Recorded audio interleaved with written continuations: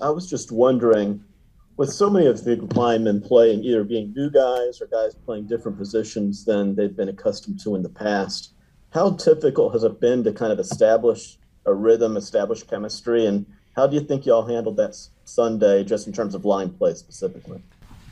Offensive line play at every level throughout any part of the history of this game is all about cohesion and playing with one another. You need to have confidence in the guy next to you, and you guys need to be on the same page. You almost need to be thinking for each other. You need to be, you know, in sync. It's almost like a one brain mentality. I don't think we did an awful job of that at all like every game, there's definitely stuff that we can clean up as not only an offensive line, but as a team in general.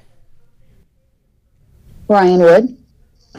Hey Billy, you guys have had a ton of success here last couple years, 26 and 6 NFC championship games. I'm curious when when things don't go well like they did Sunday, what is Matt like to be around as a head coach? How does he respond to that? What what do you see from him in the locker room and his messaging to you as a team? How do you think he is? I have no idea. I haven't been around him. Well, Matt is uh Matt's a good dude. Matt, over the past couple of years, you can see, like a lot of guys on any given team, they slowly start to uh, take on some different things that other people around them bring to them. One of the things that Matt has been big on during fall camp this year and just since we have all been together as a team is trying to embrace positivity, especially in the face of adversity. Now, growing up around football, knowing a lot of football coaches at high levels, and being around a lot of athletes that have played at that level, I know what coaches and I know what players can be like in the heat of the moment when it comes to the high stressors of an NFL football game before and right after, and I know how they can be a couple days after that. So, with that being said, everyone is completely different in regards to wins and losses and how they handle adversity. But what I will say is that over these last two and a half, three years, Matt has definitely talked to me and made a point to be more positive in the face of adversity this year. And I think he's doing a good job at it so far. Bill Huber. Hey, Billy, it's obviously a new scheme for the Lions, but you you faced Okwara and um, uh, Flowers a few times before. What, what's the challenge with those guys?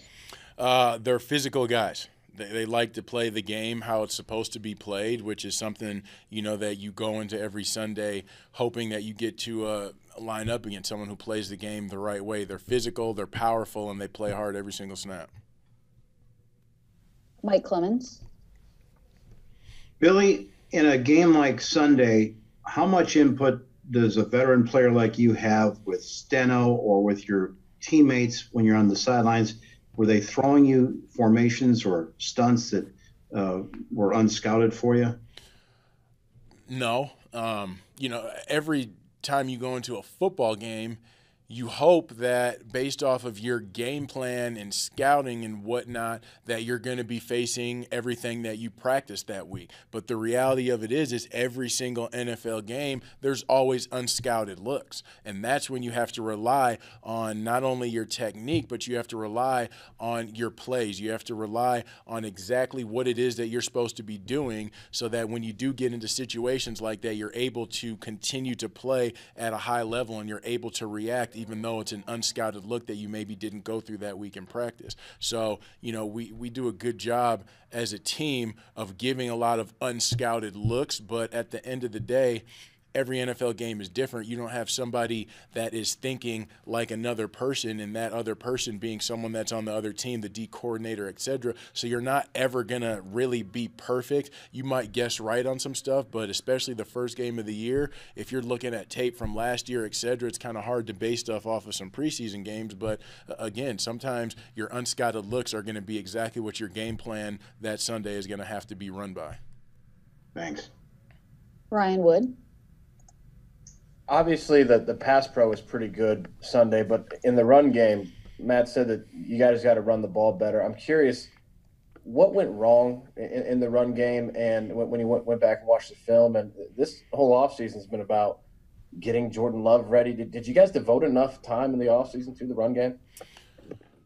to be completely honest with you, when you go into an off season and you want to work on certain things, there's still an even blend between the pass game and the run game. You know, it's it's not necessarily where you're going out to practice and you're just going to run the football all day and not throw the ball. That doesn't make sense because that's not what you do in a football game. It's clearly based off of the down, the distance, and how the game rolls. You know what I'm saying? The flow of the game. So, yeah, I think we did devote enough time to the run game this offseason, and I don't think that it was horrible by any means. I think what happened in the run game this past Sunday for us was a lot of fine details that we just need to correct. And when it comes to the NFL, when you're playing the best day in and day out, it's that small little detail, whether it's foot placement, whether it's you're cutting too soon, or whether it's you're not getting your head, you know, an inch play side or something like that, that can create the difference in the run game. So, to be completely honest with you, if a couple small things are fixed in some of those runs that we had on Sunday,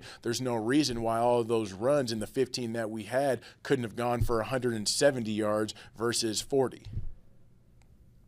Adriana Torres. Uh, what did you see from the rookies out there on the line? Obviously, it was their first real NFL game. Um, could you sense that they did have confidence and felt ready to go? They played hard. If you watch them snap in, snap out, that's the one thing that I was very impressed with. They went out there and they left it all on the field. They played very, very hard. Steve McGargy. You'll be matching up with Detroit and you'll, get to see Jamaal Williams again Monday night. I'm just wondering what sticks out the most in your memory of what he was like as a teammate, what he was like to block for on the field, and just what he was like off the field as well. Jamaal Williams is a great person. He was one of my favorite teammates that I've ever probably um, played with.